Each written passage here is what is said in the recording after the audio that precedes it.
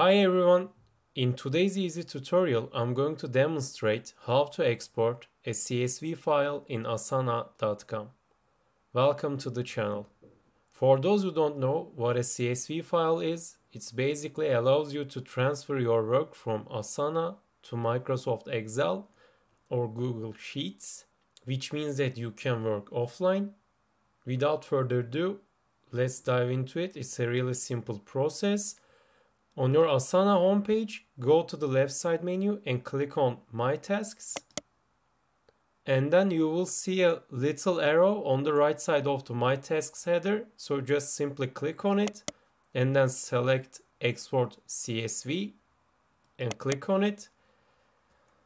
And that's it. That's how you export a CSV file. If you found this video helpful, tap the like and subscribe buttons to help others to find this video.